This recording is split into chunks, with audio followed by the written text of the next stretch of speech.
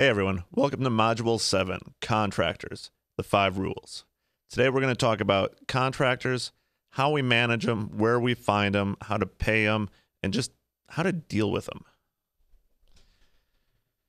So, there's, I have my kind of like five general rules of dealing with contractors, and it's contractors are one of those areas in this business that a lot of people freak out about. It's it's one that causes them to worry and and they think, "Well, I don't know this business. I don't know how to build a house.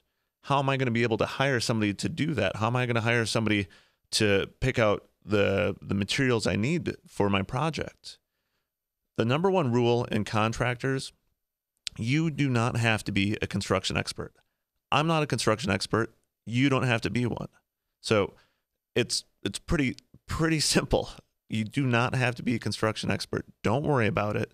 I'm going to give you some safeguards throughout this module that will help you um, just protect yourself through this process because that's the biggest thing about doing this business. I want you to be protected. I want you to do this safe. So I'm going to go through how you can be safe without being a construction expert. My second rule do not lift a hammer. All right. You, as a real estate investor, you should not be lifting hammers. It's as simple as that hammers, paintbrushes, whatever. Don't do it. We'll talk a little more on that.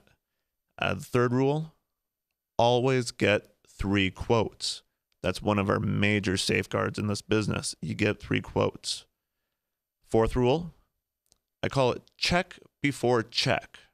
So if somebody's asking for money for a check from you, you better make sure that they did what they're supposed to before they get paid. Because if you didn't see it, if you didn't see proof of it done, you shouldn't be paying for it. Check before check. And the fifth rule on contractors you never stop looking for contractors.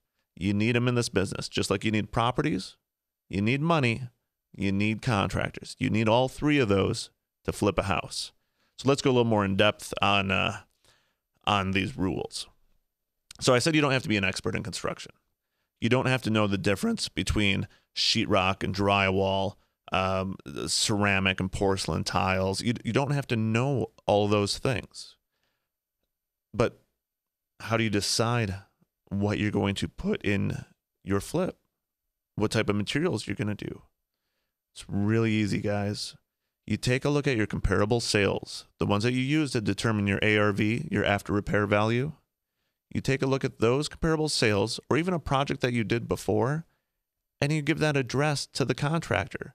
Now, the contractor is not going to go out to the property and go walk it because you know someone's living there and they're not going to let them in.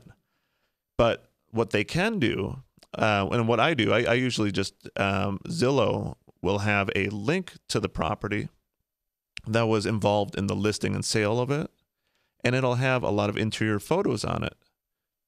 Excuse me. And a good contractor or even a mediocre contractor is going to be able to look at these pictures and they're going to see the product that you want to put out. They're going to see what type of flooring you're putting in what rooms. They're going to look at light fixtures and say, "Oh yeah, I know that light fixture. They sell it for $59 at Lowe's." Or, "Okay, you want to put 20-inch tile in the floors uh, in the in the wet areas. The wet areas are the ones with laundry room, bathroom, kitchens, the ones where sinks where there's water wet areas. Um, so the contractors can go through and he's just say, I want my house to look like this, or I want mine to look like this, but a little bit better. So they there might be a cheaper granite that somebody put into a house, and uh, by cheaper, it's going to look kind of like salt and pepper, or they might have put formica. Uh, formica is like this desk. That's you know this is this is not real wood, but that's okay. It still works. It has a purpose. It works. But in our flips, even in my rental flips, my low end um, properties, when I'm doing them for resale, I still put granite in because the difference in price between Formica and granite, it's not that much more. And it can be done cheaply. They actually make prefabricated slabs of granite countertops. So you don't have to get a big eight by 10 foot slab of granite and then have it cut to size. They have prefabricated slabs and then all they have to do is cut them to the length of the counter or cut out the sinks in them. So there's all these different things that contractors can do, and they know where to get these materials from. They they they're pretty good at sourcing material because the better they source material, the more money they can make because they're still going to try to charge you the same. We'll talk more about that in a bit. So I do not tell my contractors where to shop either. I have contractors that I know shop almost exclusively at Lowe's and almost exclusively at Home Depot so that uh, there's either or.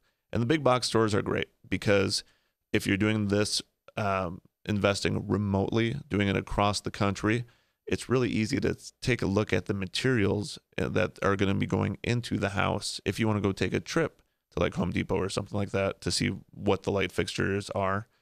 But don't tell them where to shop. Just give them the idea. You want it to look modern. You want brushed nickel or oil rubbed bronze uh, or brass. Please don't do brass. The houses are not going to sell that much more. Brass is the gold colored uh, fixtures. Um, the house is not going to sell for more. You'll have less buyers that want it because it doesn't look as modern or as clean as the today's buyers want. Uh, very few buyers desire brass fixtures, and when I'm saying fixtures, I'm talking everything from doorknobs and hinges to lights to uh, levers on the toilets. You want to have everything uniform and matching in your house. So you express that to your contractor. I want the house to look nice, clean. Everything has to work and be functional. And I want my house to look like this one. And you just give them the address of the property. So you do not have to be the expert in construction or design. And chances are your contractor has done a few remodels before and he's going to have some input to you or for you. And your realtor will too. And especially if you're doing your remote investing and you have a solid pair of boots on the ground and you're using a realtor for that or somebody else, uh, uh, preferably a, a, third party that's going to be your eyes and ears on the ground, that's your boots on the ground. Uh, they can help out with those type of uh, features and and design aspects because it's hard to decide if you should open up a wall or not just by looking at a video or uh, pictures of a room from 2,000 miles away. But if you have a conversation with somebody that's not charging you for the removal of a wall and they say, yeah, you should do that. oh, wow, I can see the vision of that. Or I don't know why you're doing that, man. Don't don't do that. That's a waste of money. That you're going to have conversations like that with your boots on the ground in your remote investing. We'll talk more about that in a later module. So, rule number one you don't have to be the expert in uh, construction. It's okay. Now, you should take some time and go to Home Home Depot, Lowe's. Uh, most major cities have uh, cabinet warehouses uh, uh, where they have a lot of Chinese made but still high quality uh, materials, such as the, the cabinets, the countertops, even sinks and faucets. I get all of my sinks, and I know this because my contractors tell me where they get it. Uh, I get all my sinks from these same stores. And instead of charging, like for a kitchen sink, instead of uh, spending three, four, five hundred dollars for a kitchen sink at Home Depot or Lowe's, I believe my kitchen sinks are $145 for the same thing. But it's at these different stores and it's the sourcing of materials. My average kitchen price for a a standard remodel where I'm actually doing cabinets, full appliances is about between depending on the size of the kitchen, the amount of countertop space, the amount of cabinets, the price is going to be somewhere between seven and nine thousand dollars. Now you have to know in your market if your houses need refrigerators in there, because that'll be another about fifteen hundred dollars. And how do you know if you need a refrigerator? Do you just trust your realtor? No. You look at your comps if your comps all sold with real or if your comps all sold with refrigerators, you should sell with one too. You want to look as good as the comps that you're determining your ARV from. If your house doesn't look like those, it's not going to sell at that price. So that's where your design ideas come from. That's where your your uh, decision to go oil rub bronze or brushed nickel. Brushed nickel is the silver look and a more modern look that's how you decide on these things. but you don't have to be the expert. You shouldn't be spending all of your time picking out, well, this beige tile looks a little better than this beige tile, right? It, it's not that big of a deal. It's going to be new tile. You just don't want it to look so out of the uh, the realm of everything else, meaning uh, very intricate designs, something that really jumps out at people and might scare them away. Keep it neutral. And my idea when I'm rehabbing houses, I put the money in to things that the normal homeowner is not going to replace. The cabinets, tile flooring, even though I'm only spending about a dollar a square foot for my tile for the tile flooring, that doesn't include labor, grout, um, uh, for the, for that, but it's and thinset.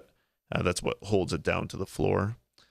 Um, but I'm only paying about a dollar for that uh, material. So all in, I'm paying about three dollars a square foot for a nice 20 inch tile floor. But I'm putting a nice tile in where other people might put a 12 inch tile, which is smaller and has more lines and just looks a little bit cheaper. But it, it's not something a normal homeowner is going to replace themselves. The the tile flooring, um, the cabinets, the countertops. Those are all things that they're not going to change. But what homeowners do change is carpet. I don't put expensive carpet into my houses, even in my upgraded houses, my my my bigger uh, houses. I still don't put upgraded carpet in there because that's a buyer's choice thing. Light fixtures. I don't spend a lot of money on light fixtures either, especially like ceiling fans. Now you have to know your market, uh, and you do know it by looking at your comps. If you need to put ceiling fans in, your comps will have ceiling fans. Most markets, you might want to just put one in the living room, maybe one in the master bedroom, and that's it. Because a light fixture is an easy thing for a homeowner to replace. So keep that in mind when you're you're picking out some of this stuff. Homeowners can replace appliances. We do a basic appliance package, stainless steel appliances, and it'll be in most markets that I'm in, it's going to be a stove, microwave, and dishwasher.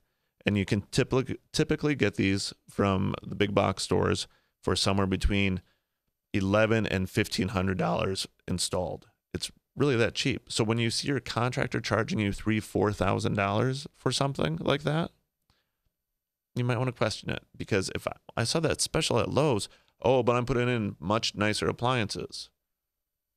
Do you really have to put in the much nicer appliances? If you're doing the upgraded remodels, yeah, you might have to. But on your lipsticks and your rentals and even your standard remodels, a brand new stainless steel set is going to trump anything else. Just put that in. So look at your comps. You don't have to be the expert in construction. Now, you do have to let your contractor know that, hey, this is a flip and it has to pass inspection. Because when you go to sell this property, the buyer is going to get a home inspection. They're going to get an appraisal. People are going to be walking through the house, poking at it, opening things up, testing the outlets, and, and making sure everything works. It has to pass inspection and it has to pass some of the current codes that are out there. In the uh, western states, we have uh, seismic straps on our water heaters so that they don't fall off during an earthquake and explode or shoot through your roof. You know, it's safety things like that. Those have to pass inspection. Now down in Florida, you have to have your roof tied on for for, for the hurricanes. I mean, it's not just tied on with ropes; it's uh, you know built into the structure. So, but your contractors are going to know that because guess what? They're contractors from that local market. That's how you lean on them. But you just tell them it's got to pass pass inspection. It's going to pass code. When the inspector comes back through here, takes a look at the house, if there's any repairs that are need to be made, you're going to have to do a Mr. Contractor. So just be aware of that. So you don't have to be the expert. Rule number two, and I can't stress this one enough don't lift a hammer, don't lift a paintbrush, don't do anything. Uh, if you remember when I said, talked about my first flip I did, and I was installing a light fixture and I got electrocuted, it's going to happen to you Okay, be prepared for it. It's not fun. Uh, you're gonna get frustrated. You're gonna get covered in paint, and you're gonna work for an hourly wage.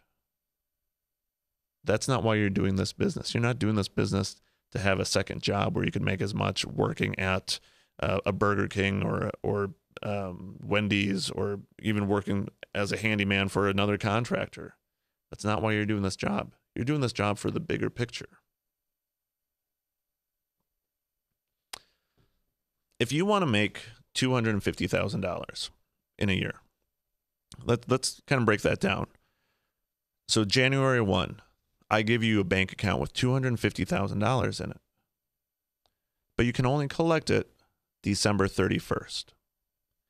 So what you have to do to earn that money by the end of the year, there's 50 working weeks in the in the year. So we take 250,000 and divide by 50. Each one of those working weeks has 40 hours in it, 40 working hours. Now we can work more than that. Yeah, I, I get it. And I, I do work more than that because I want to keep pressing and keep furthering my path. But if you take 250,000, divide by the 50 weeks, divide by the 40 hours, that equates to $125 an hour. Are you going to get paid $125 an hour to paint a wall? Are you going to get $125 an hour to hang drywall? Rake a, rake a yard, mow a, mow a lawn? No, you're not clean a swimming pool. No, you have to do the work that's going to make you that 125 plus. And in this business, it's finding the houses, connecting with the money people, and hiring the contractors. That's how you do it. You go through this this process, and you're gonna your hourly wages are gonna go through the roof when you get your ball rolling. Um, I actually I was making $150 an hour before I started investing full time. That's how lucrative real estate investing, uh, flipping houses can be for you. But think about that when you're looking to, oh, you know, let me go grab that screwdriver and fix this uh, cabinet door. You know, you're going to spend 10, 15 minutes doing something. You could send a, te- a text message to the contractor and say, hey, the cabinet door's loose. This one in the picture, fix it. 20 seconds or 15 minutes. At the end of the year, every time you did hourly work that was $10 an hour, $15 an hour, that $250,000 dropped and dropped and dropped. And that's why most people have 40,000 at the end of the year or 60,000 at the end of the year because they focus on that small stuff. You as the real estate investor do not lift a hammer, do not lift a paintbrush. All right? Don't do it. Now, I talked about safety. With contractors, you want to be safe. Um, you got to get three quotes, three quotes on every job. I still get three quotes on every job because I want to keep my contractors honest. I have guys that only work for me. I have I have multiple crews that only work for me, but I get multiple bids on every project, and I don't give every project to the one contractor, obviously, because I'm in three bids. I let them know. I want to keep them honest. If you only have one contractor and he's bidding out all your projects and doing all your work, what happens around November? And he's bidding a job for you, and he starts thinking, hell, kids are going to be out of school. I haven't taken a vacation for a while. Malibu sounds nice. You know, maybe I want to go take the kids to Disney World in Orlando to have to pay for that. Yeah, let's bump this bid up a little, right? They'll do that. You know, they'll, they'll start planning their vacations off of your dime. Now that you want to pay them so they're happy and, and they work, but you have to keep them honest. All of a sudden, you see your paint going from a dollar, a dollar fifty a square foot for the interior of the house up to three dollars, and you call them out on it and say, "Well, why is paint so high on this one?" Oh, well, it's got bigger walls. Not that much bigger. So uh, that's why we always get three quotes. And when we're getting quotes from our contractors, it's really important that you get a line item quote, meaning that they're putting interior paint $1,500, exterior paint $1,500, uh, appliances $1,400, so that it's it's all built out like that. Now, I don't need to see 37 outlets, 52 um, uh, switches. Uh, I, I, don't need to see the counts. I don't really care about that. I'm, I'm just looking for the bulk items. I'm not going to go back through that house and count all of those, right? That's not what I'm going to do. So I'm not going to double check if it was 37 or 47 or or 25, whatever. I don't care. I'm looking at that final number and I'm going to compare it to the other guys because I want to see does it make sense. Now, one of the things you have to really remember on this, some contractors make money in different line items. So it's the final number that really is the biggest um, um, deciding factor with your contractors. It's not the only factor, but each line item, they could be making money, they could be breaking money, or breaking money, breaking even. They could be losing money even, or not making money at all, or, or they could make a huge amount on one item because that's just kind of where they threw it. So each contractor is different on the way they do it. So when you're comparing them, you want to see, okay, these guys, you know, a couple hundred bucks here and there, not a big deal. But then you get to like doorknobs. And doorknobs in the house, you have two year contractors are $300 and $320. And then this other guy's like $1,200. I'm gonna be like, whoa, he's trying to rip me off? No, maybe maybe he just doesn't know the material I want. Maybe he doesn't understand. Uh, huge difference in prices in doorknobs. This is the throughout the house. There's knobs, which are just the round ones, and then there's levers, which you just you know go like that with. Levers are going to be more expensive. Uh, they're going to be anywhere between uh, $28 up to $50, $60, $70 for some of these, depending on your design. Don't pay that much. you don't have to. So you're going to want to say, hey, Mr. Contractor, I was looking at the bid.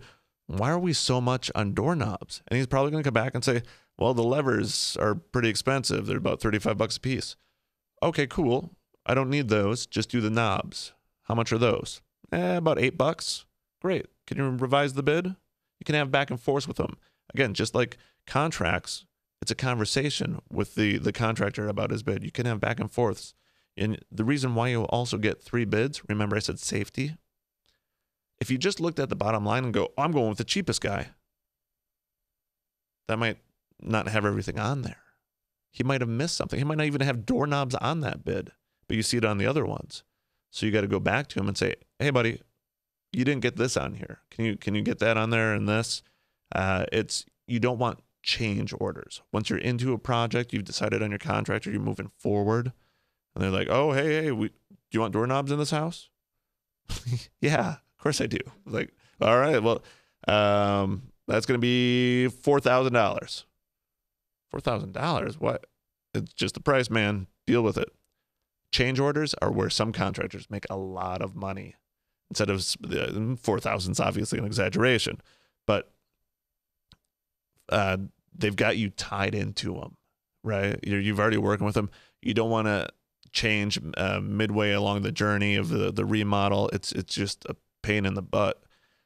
And they kind of know that there's these guys out there that just live off of change orders. They make so much money on them. Don't get caught in that cycle. Now, if something happens and you open up a wall and there's an issue and you have to change uh, plumbing around to add in the bathroom, you want to, whatever the case is, that kind of stuff does happen. But simple things like doorknobs or appliances or shelving in closets, that should all be caught at the front so you know what your budget's going to be. And that's why you get those three bids, the line item bids, and you compare them next to each other. And the cheapest is not always the best. Remember that. You got to go with your gut, with your heart, and go with who you feel the best about. Now, I'm going to talk more about getting quotes and how we do that, but you really got to, if you got a bad feeling about somebody, even though they're the cheapest, they rub you the wrong way, whatever, move on. It's not the way to start a relationship. Now, check before you check. That's my, my rule number four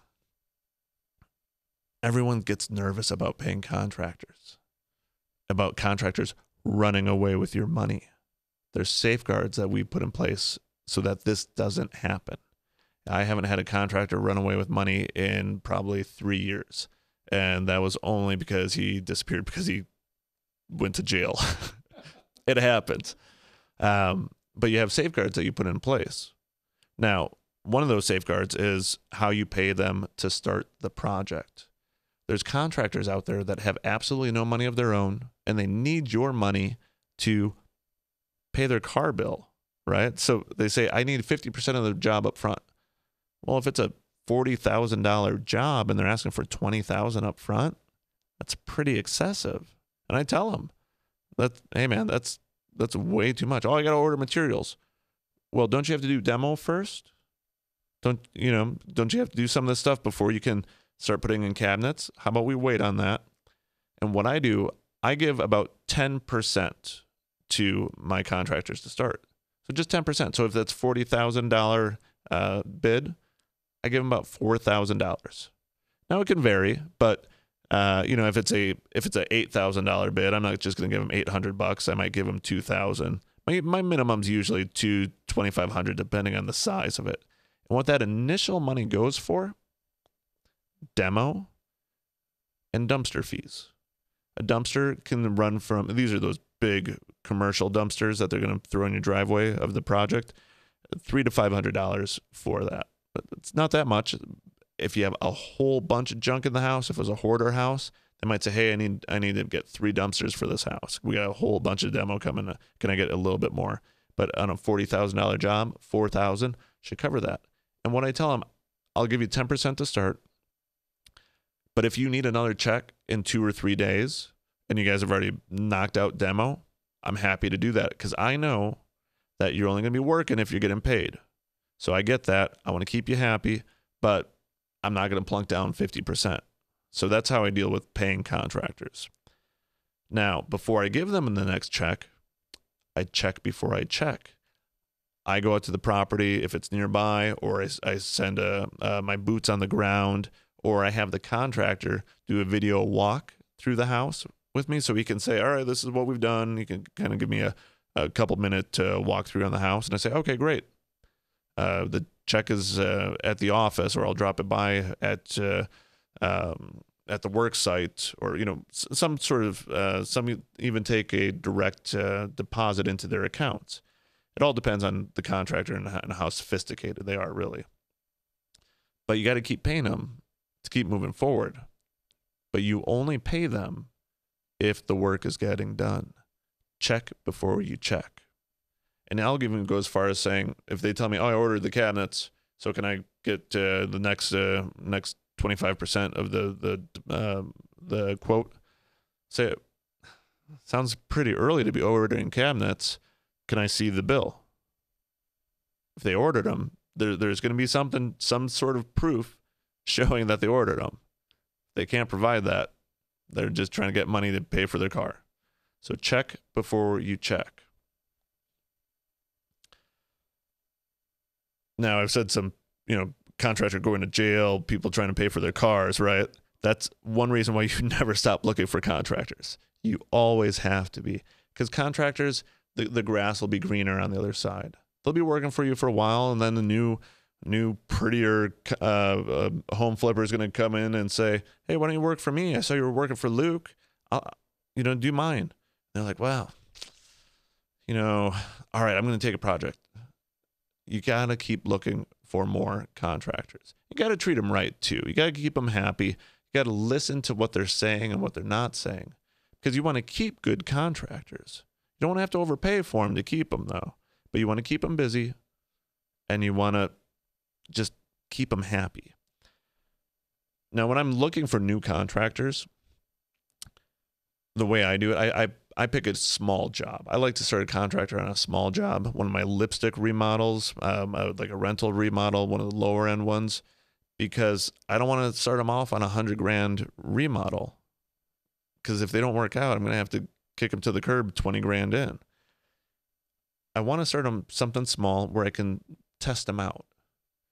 Now, I don't, now I'm telling you, get three quotes, right? Does that mean I call three contractors? And just wait for them to come to the house and give me quotes. No, it's the kind of rule of thumb is you have to 10 to 3. 10 contractors to get three written quotes. It sounds like a lot of work, and it is. Contractors, no matter what stage in this business you are, it's always a lot of work, especially when you're doing it remotely. 10 to 3. Now, what's going to happen? You're going to contact your contractors. We'll talk about how to find them. But you're going to contact the contractors and you're going to have a back and forth with them. And you're going to just say, Hey, do you work with flippers? Yeah, I do. Okay, great. You know, I'd love for you to quote one of my projects, uh, my, my next project I get. Okay, yeah, I'll do that. You have that beforehand so that when you do get your project, you're in your due diligence time frame. Remember, due diligence, contract is accepted. Yes, awesome. High five. What do I do? I reconfirm my ARV and I get my contractors. This is where I'm calling 10 contractors. The guys I've already talked to once before. Now I'm saying, hey, Mike, hey, Jane, you know, whoever the contractor is, I need you to come out to the house.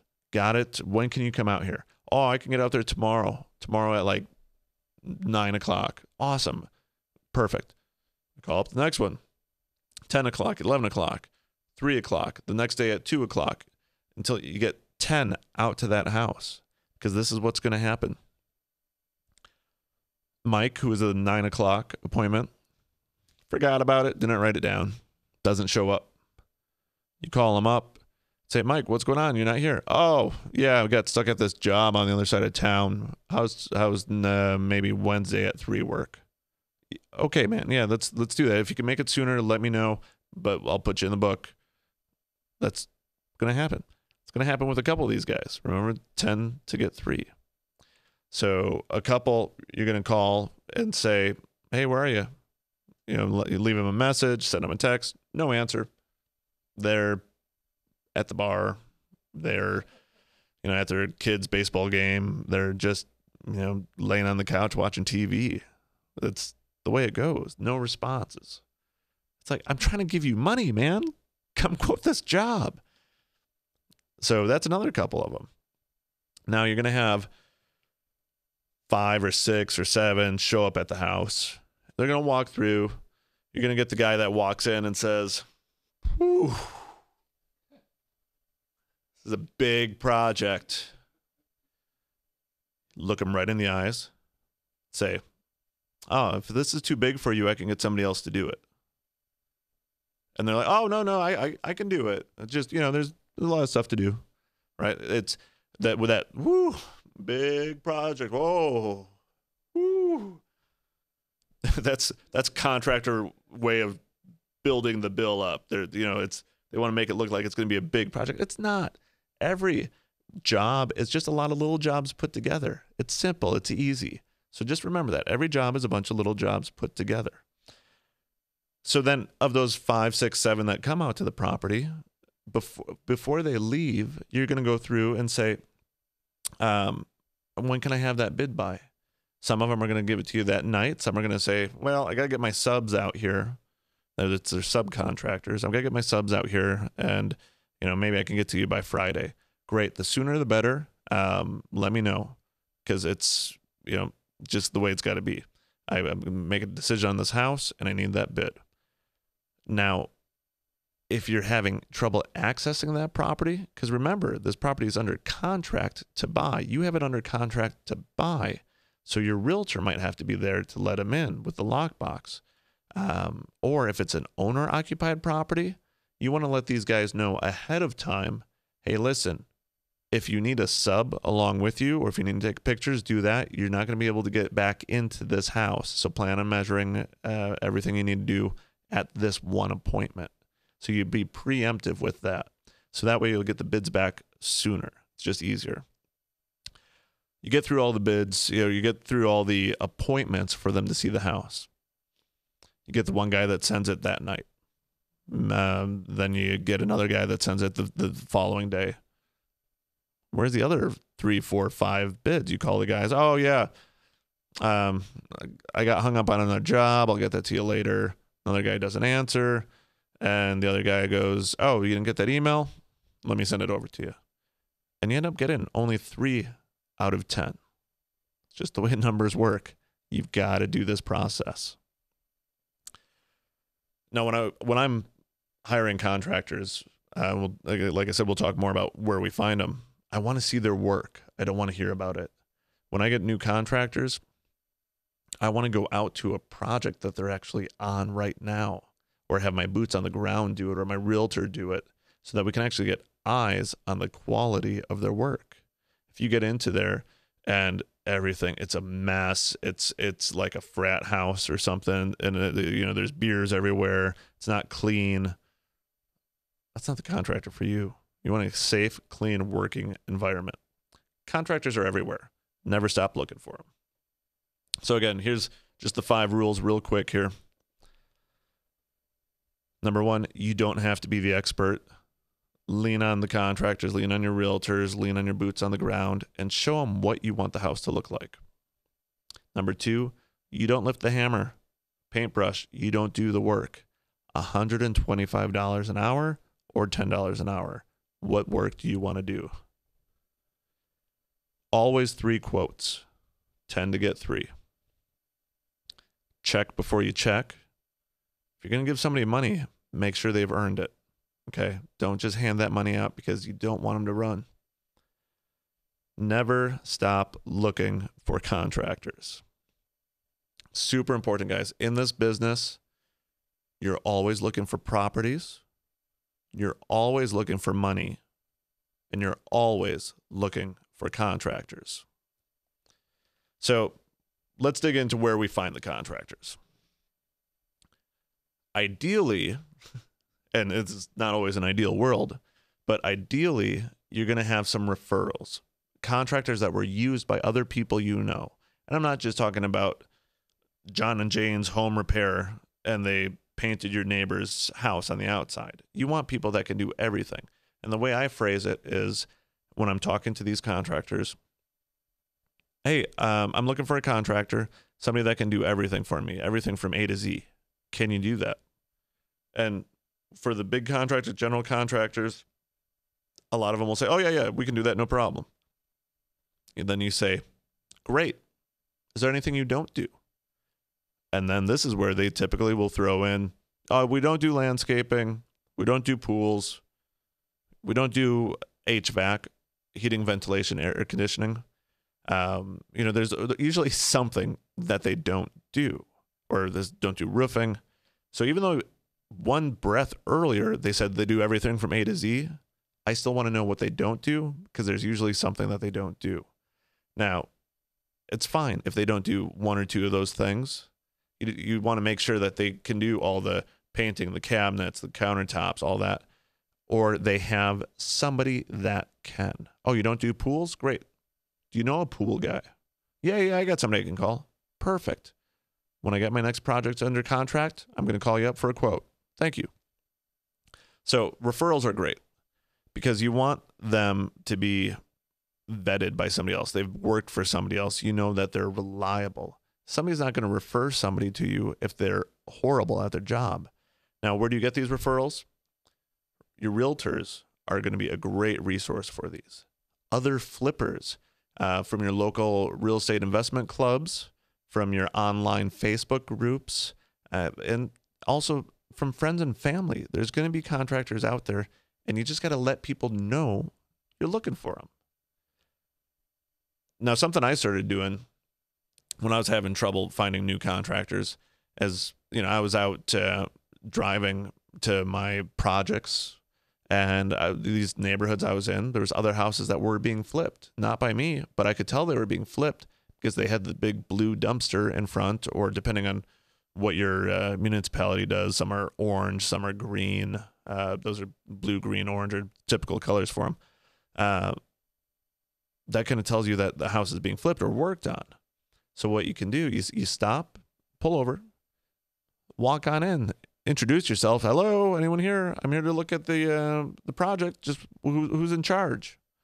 Try to get a, a hold of the guy that's in charge there. If no one's there, I started carrying around a like a four by eight piece of bright yellow paper that had my name, my phone number, and I'm looking for a contractor. Call me written on it. So I had pre pre pre-typed, and I would stick them right into the dumpster. It's just kind of like in between where the metal was uh, there, so they could see it sticking out of there. And I got calls off of them. That's all different ways to find contractors. But you see these ones; these guys are actively doing projects. Now you can take a look inside the dumpster and see what kind of project they're actually doing. Now, if it's just a bunch of trees, uh, branches, and things like that, it's probably just landscaping. Might not be the one you're looking for. But if there's if you see cabinets and toilets and drywall in there, that most likely is a flip or a full remodel contractor. That's somebody you want to talk to. And if that house is on your route, keep swinging by it. Pay attention to it. I've done that. I've watched a whole house being built and I've I talked to the contractor on my second or third trip past the house. And I went back when it was getting done and I went into it and said, Oh, wow, you guys did a good job. You want to quote one for me? And they did. Now, I've also done that where I got to the house at the finish of the project. I was like, Oh, good job, guys. See ya. Because they didn't do a good job and I wouldn't want them on my project. Uh, doors were, had big gaps at the bottom. Uh, tile wasn't laid straight. Uh, uh, just finishing was not done, and finishing hurts your resale value. So pay attention to that. So construction sites is a good place to find them. Um, you can find them at uh, like Home Depot and Lowe's. Now, I'm not saying you just walk around to the guys that are sitting in front of the Home Depot and Lowe's. I never hired those guys. They could be good, they could be bad. I only want companies. I'm looking for companies, people that actually uh, are doing work right now. I don't want. I'm not going to hire the guy off of the Home Depot front uh, front stoop, but you can go inside and talk to the contractor desk, the uh, where the where all the contractors go buy their materials in bulk. Say, hey, man, I'm I'm flipping some houses. I really need a new contractor. And you talk to the the guy behind the counter or the guy or gal, and just let them know what you're doing. And you know what? Chances are they probably have some regulars that they can recommend or at least take one of your cards and hand them out for you. So that's a good way to find them. Now, there's a website out there called thumbtack.com. Uh, you might have seen the commercials for it on the uh, TV. And what it is, it's basically an internet corkboard. And you can find almost any service you want on there. Everything from uh, I think they even do like computer repair and graphic design now on thumbtack.com, but it's for general contracting. You can put it up there. And if it, it's basically here, click, you know, here's my job. I'm a real estate investor. I'm flipping houses. I'm looking for a contractor. And I just put up general information about any house. 2,000 square foot house. I'm remodeling kitchen, bathrooms, uh, garage, and living room, something like that. Full remodel. Need to start as soon as possible.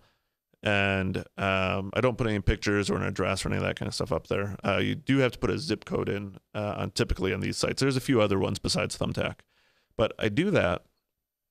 And then now that job's up there. And a contractor that wants work is going to call you or email you and now you're not cold calling contractors out of the yellow pages where half of them don't even want to work with a flipper. In your note, you're you're saying right what you're doing. I'm flipping houses. I've got this one. Boom. Now when you call them or they contact you, you call them back and just say, "Yeah, this is what I'm doing. You know, you, found me on Thumbtack. Uh, what do you do? Uh, how much can you do everything from A to Z? And then you have to do the follow up question What don't you do? Great. You know what? My next project I get under contract, I'll have you come quote it out because I don't want to waste your time or mine going and looking at properties that I don't have control of. Now, notice what I said there. I don't want to waste your time or mine because who's important here? Not just the contractor or not just the realtor or whoever you're talking with here. You, the real estate investor, you are important. So you have to remember that. They're they're working for you. They're, you're the one writing the checks. So thumbtack.com is great. You know, if you need a cleaning service, if if you need a, a pool guy, whatever, it's all on there. Go on there, check it out. Thumbtack.com. Uh, a few other websites. Uh, we, we got uh, like Angie's List. Uh, you have to. There's a small membership fee for that one. thehomemag.com. And that's the home mag is in the home magazine.com.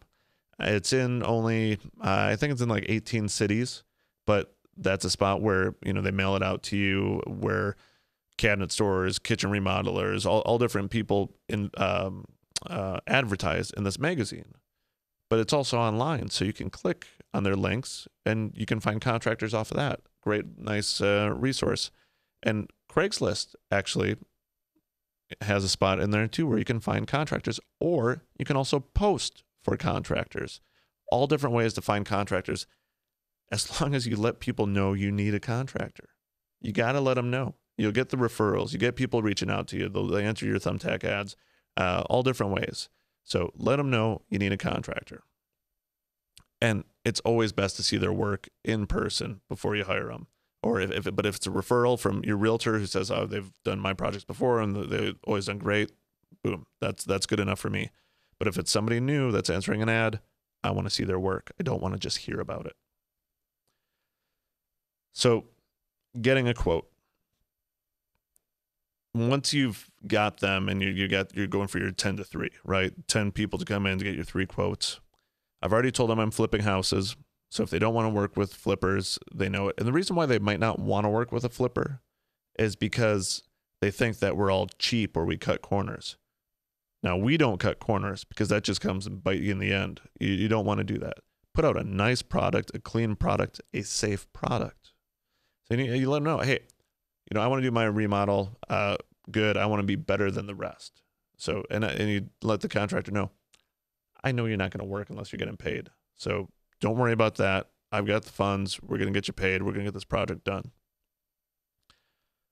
Now, I don't want them, I, I tell them up front if you only bid retail, don't worry about coming out. Don't waste my time or yours because I'm not going to pay retail. This is an empty house. You get the full run of it. Utilities are on. Go out there, do your thing, and I'll get another one lined up for you right after this one. I will keep you busy. I will keep you fed. That's what you want to do. And uh, scope of work. I tr- make it easy for them for that line item bid. You know where you're comparing the three bids next to each other. A scope of work doesn't have to be in depth. It all it is is going to be a line by line by line little email that you send them, and it just says what you want to do: replace interior light fixtures, replace exterior light fixtures, uh, new cabinets, new countertops, and you can put to match property um, one two three Sesame Street so you do that, you do that list for them so that when they walk the house, they know what they're looking at. But at the end of that list, you write and anything else you see that is needed. That way it's open ended. Like, hey man, if you see other problems here, if you if you have suggestions, I want to hear about it. This is not just the scope of work. This is the start of the scope of work. And remember, whew, this is gonna be a big project. okay, if you can't handle it, I could find somebody else. It's that simple. They'll shut up and they'll they'll walk through the property. That's that's the way you handle them. Um, don't let them walk all over all over you. You're the boss. You're the one writing the check. Every big job is made of small jobs. And once you've gotten those three bids and you've decided I'm going with I'm going with Mike's general contracting, whatever company it is, you make that decision during your due diligence time frame. You call up Mike and say, "Hey, Mike, I'm closing on this house uh, February 11th. When can you start?" If he says, "Well, I can get on there March 20th," Mike, I'm sorry, but I'm not going to be able to use you. a month, month and a half of nothing. Every day that project is not working on, being moving forward, it's costing you money. If you're closing February 11th, you want them starting February 12th and you're going to get the power turned on so that it's it's ready to go for them because there's going to be things that they need to do. They need water and they need power. They need water to paint, uh, power to run their drills, all that kind of stuff. There's ways to do it with generators. If if you can't have it on, if there's a uh, no power to the property yet, uh, solve problems. The contractor will know how to solve those problems, but you want to find out when they can get started. Get them on the schedule. 10% up front, get some of the demo and the dumpsters, and, and just keep paying them. Now, once you get a quote from them, You're going to go back and forth with them. And then you talk, okay, you're asking for 50% up front, 25% up front, whatever it is. Um, you want a schedule of what they're expecting after that. You know, we're going to pay them 10% up front, but then we want a schedule of everything uh, for pay and for work. You don't want to just saying, okay, well, I'll take 10% February 12th to get started on the demo.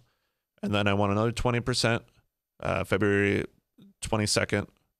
And then another 20% March 1st. You don't want to just say that.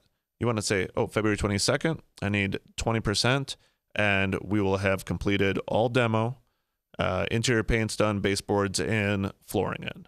Some, something like that. So the amount of work that's going to get done and what they expect to get paid. And if it comes to February 22nd and that work is not done, you don't have to pay them all that. But if they come back and say, well, I know we didn't get that done, but instead we put the showers in, we did all the tile work in the showers, which was going to be for the next payment. You know, there's a give and take. You want to keep the project moving. It's only going to be moving if you're paying them. But if they're not moving to the same speed of the pay, don't pay them the same. Okay. You control that. You write the checks. The way I do it in my business is I still make them request the checks. So I don't, it's not on me on February 22nd to write that. And what I do, I have all my checks I write on Friday. They have to request it on Wednesday. So what do I do on Thursday? Thursday is my day to check to make sure that the work is done, right? You got to give yourself a little little time frame there. You want to check on Wednesday? Great. Or on uh, uh, for Friday? Better let me know on Wednesday because if not, you got to wait till the next week. Stick to that. Keep them. You got to train them, and they'll they'll be fine with it. Uh, but take them a little bit, but they'll be fine with it. Hold back the money if it's not done. If the work's not done, that said they said was going to be done, hold it back. And I've done this with contracts before, contractors before, where I've penalized and rewarded. So when you have the the bid from them, it's going to say when they expect to be done with the project. March 17th. So I tell the contractor, okay, March 17th, we're six weeks out from this project being done. It's a $40,000 job. Uh, a typical contractor can get five to $10,000 worth of work done per week, depending on the size of the, the job and the, the project and everything. But if it's $40,000, six weeks should be more than enough. It shouldn't be three months. Now, in some cities, when you're having to pull permits and get code inspection, it can drag things out. But for standard uh, flips and remodel uh, lipstick flips, you don't really have to get all that code enforcement involved. Listen, cities are going to make you get a permit for painting the interior walls. You don't need that. Okay. Now talk to talk to your contractors and say, listen, any permits we need, get them. Let me know about them. Whatever. I don't. I don't know. Just tell them I don't know about permits. You handle all the permits. I don't want to be part of that, but let me know what we need them for, because you want to know if there's going to be delays and, and additional inspections. But you again don't have to be the expert. You rely on the contractors for that. But I reward my contractors if they finish early. Because if they finish early, what's that mean? I get the project on market sooner and I get to sell it faster and I make more money. I get a better AROI, annualized return on my investment. If they take longer, it's going to cost me more. I have more carrying costs. So when I've done this with contractors before, I say, okay, March 17th, if you finish early, I'll give you an extra $100 per day. However, every day that you're late, I'm going to take away $100. So if we were $40,000, we're now $39,900, $39,800, $39,700. So, you know, it's got to be managed. If there are delays during the project, they need to vocalize to you, hey, our finish date has been extended because the cabinets you want are in back order. So we'll have to do another week on that or something. Okay. Anything like that, any changes, change orders have to be in writing with the change in date and any pricing. And you have to approve them. Okay. Real important. Now, another thing that really freaks people out is the paperwork. right? What kind of paperwork should you have with contractors?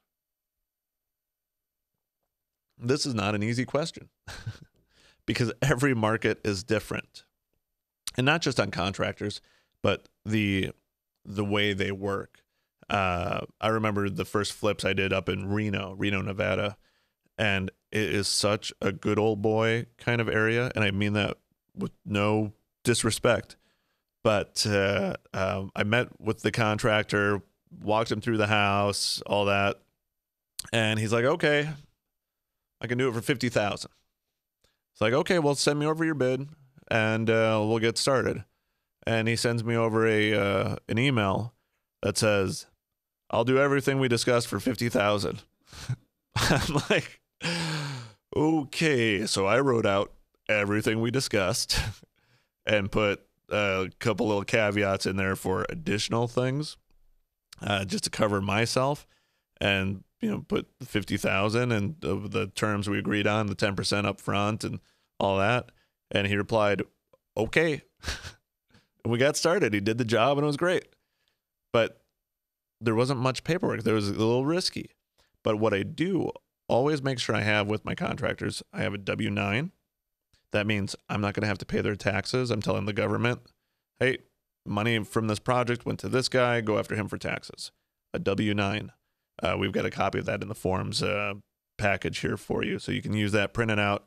Always have anybody that you're paying fill one out. You'll need one a year. Talk to your CPA, your accountant on it. They'll explain how it works. I get a copy of their driver's license and I get a picture of their rear license plate. So I'm worried that a contractor is going to run away uh, uh, on me with my money, right? So the W 9, there's a spot where they have to put their address. Driver's license has an address on it, and a license plate. Well, number one, the, the thing about the license plate, if their their tag is expired on their license plate, they're not paying their bills. Don't hire them. That's just a safeguard. So we want to keep you guys safe. Um, get those, but uh, paperwork can be extensive with some contractors. A lot of general contractors will have their own package of paperwork, and um, it's going to say what the scope of work is, what's expected of each party, uh, payments, all that kind of stuff. Uh, you're writing the checks. You're the boss. Somewhere in all of this, uh, back and forth, you do want to let these guys know that you have a zero tolerance for smoking and drinking on your job sites. Zero tolerance. Because if people are drinking, it's going to slow them down and can cause accidents. It's just safety. It's smart smart business. Um, you know, I'm I'm in a video studio right now and they're they're not drinking on the job. I'm not drinking on the job. Your contractors handling heavy machinery, tools, saws should not be drinking on the job and smoking on the job nowhere on your property. Because guess what? If you're the guys laying carpet are smoking, the smell gets into it. There's something about a new house smell, just like a new car smell. You don't want people to walk in and smell cigarettes. You don't want cigarette butts all over your yard. No drinking, no smoking. Um, okay, so back to the contracts with, uh, with contractors. Uh, the stuff that I want to make sure that I have written out somewhere, whether it's an email or their big form paperwork, is the scope of work. That's going to say what they're doing and how much it's going to cost. The time frame and pay schedule, meaning when the project's going to be done, when pay is expected, and what's going to be done at each of those uh, pay periods. You want to make sure the contractor is insured. You can ask for a copy of his insurance on bigger projects, you might want to be named on their insurance. Uh, it's just for safety in case something happens to the house. Uh, it's again, you don't have to be an expert in insurance. You are going to have homeowners insurance on your property. You're going to get that from State Farm or Allstate, one of those companies. Call them up and say, "Hey, what should I do for to safeguard myself with this contractor? Here's his insurance. Here's the job." They'll give you some free advice on that lean on the people that are the experts in that. You want to make sure that it says the contractor is responsible for paying and insuring their own subcontractors. You don't want the subcontractors coming after you later and saying, You never paid me. Like, man, I didn't hire you. I never had an agreement with you on paying you. You got to talk to Jim. Jim's the guy that hired you. Well, I don't have a, you know, it's your house. I'm going to put a lien on it. If you have paperwork stating that the contractor is responsible for all that, can take care of it. So you want to make sure it's clearly written somewhere. Contractor is responsible for paying and insuring their own subcontractors. Then number five, change orders have to be in writing with cost and dates if there's date changes for your final uh, end project, especially if you're doing bonuses or taking money away. And you still have to respond and approve them. And these change orders shouldn't all come at the end of the project. It should be happening when the change happens. Meaning, oh, we had to open up that wall and uh, uh, move the plumbing because the, the pipes were in the way. So that was an extra $800. Well, you could have let me know about that when you moved the wall, not six weeks later when you're asking for final payment, because now I don't really have any proof of that, do I? So, have to be in writing with cost and approved by you. Real important. So, before you make your final payment to your contractors, it's important you do a final walk. Now, a contractor is going to do what they call their punch list. They should walk the property before they say they're done and they're going to write down everything that they see that their their guys need to finish, that their workers need to finish, um, and that's a punch list. So when a contractor tells me that they're done, I ask them, "Did you already do your punch list?" Oh no, well we're finishing it up tomorrow. Okay, great. Let me know when that's done. Three days later, he calls you back and says, "Okay, that punch list is done." Right? You don't want to waste your time. You want to know when it's actually done. So you say, okay, great. Um, the contractor is going to push for you to go walk the property with him because he wants his last check. He'll say, okay, well, I can be here at tomorrow at 10 o'clock if you want to walk it with me. You know, 10 o'clock doesn't work for me. I'll try to figure out my schedule and I'll get back to you. But if you say it's done, um, I'll try to get out there either way. Because you don't want the contractor there with you when you're doing the walk. Because he's going to point, see what we did up there? See all that, the texture on the ceiling? Man, we made that blend really good because he doesn't want you to see the wall over here where it looks like garbage. Okay. You want to spend at least an hour on your walkthroughs. Get some of that painter's blue tape, and you're going to blue tape the house. Any of the little marks you see that you want fixed, anything that's not working, you're going to check every door. You're going to check every lock, every cabinet, every drawer. Make sure the appliances work. Every light switch works. Every uh, plug works, even. Go through and double check the house. The contractor should have already done this, but you don't want to have problems when you get a home inspection when you sell the house. So the less problems you have, the more likely the transaction is to close. So you take care of them now, especially while the contractor is waiting for money, and he's going to be quicker to get these things done. So you blue tape it, but that's not all. Now, when you're blue taping a house, if there's something wrong with the ceiling and it's a 12 foot ceiling, you don't need to pull out a ladder and you know put blue tape up there. Make an arrow out of the blue tape put it on the wall pointing up. You can even write on the blue tape uh, explaining what the problem is. Sometimes i'll open up a closet door and i'll put the tape around the jamb so that even if somebody comes and closes that door they can see that there's blue tape and it leads them into the closet and maybe uh, to whatever the problem is. Maybe they forgot the the closet rod or the shelf or something.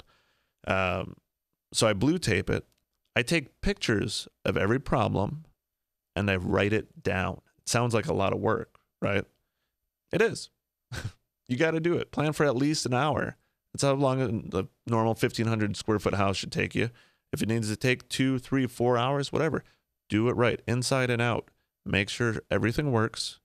Send that list to your contractor and tell him to let you know when it's done. He's going to go out there and, and carry the uh, take the bid with you too.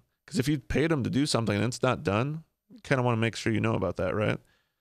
Um, so when the contractor says it's done, you go do the exact same thing, or you have your realtor or your boots on the ground do it. And uh, um, again, without the contractor. And when you're satisfied the house is better than good enough, it's never going to be perfect. Every time they go out to the house, they're going to cause more problems. carpets are going to get dirty.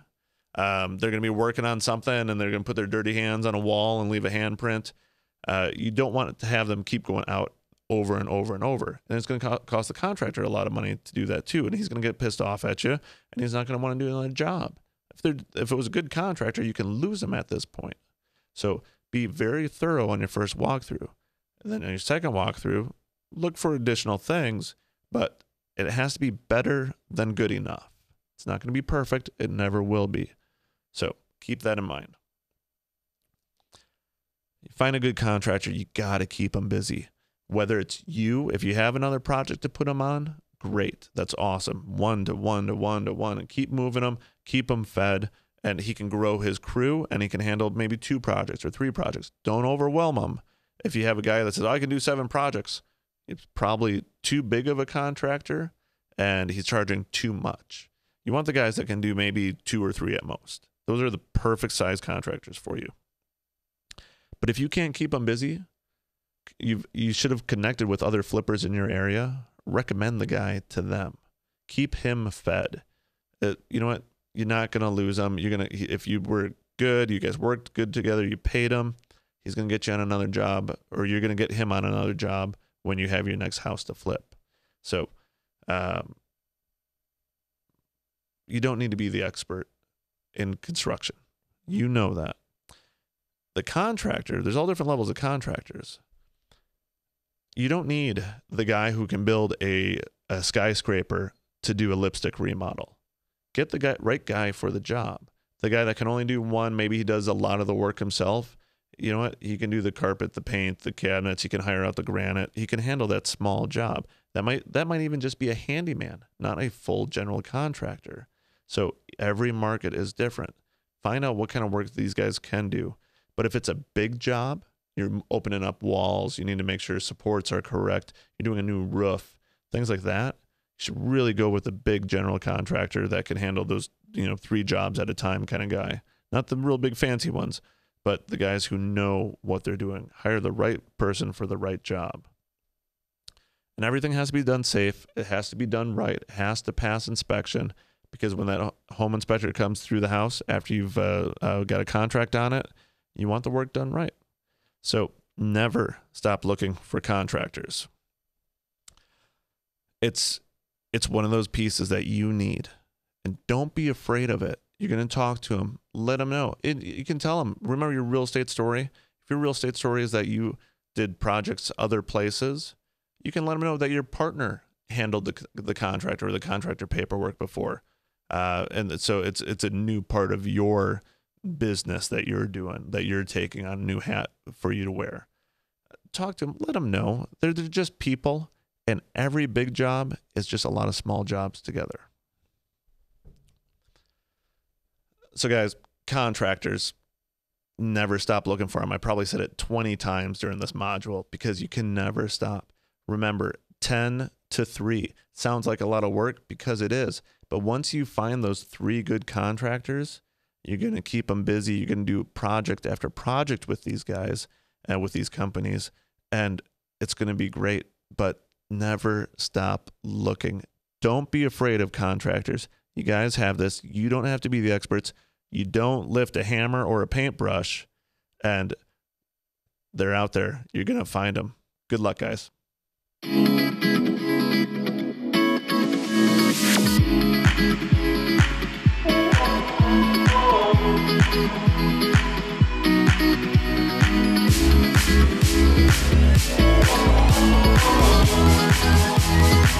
What?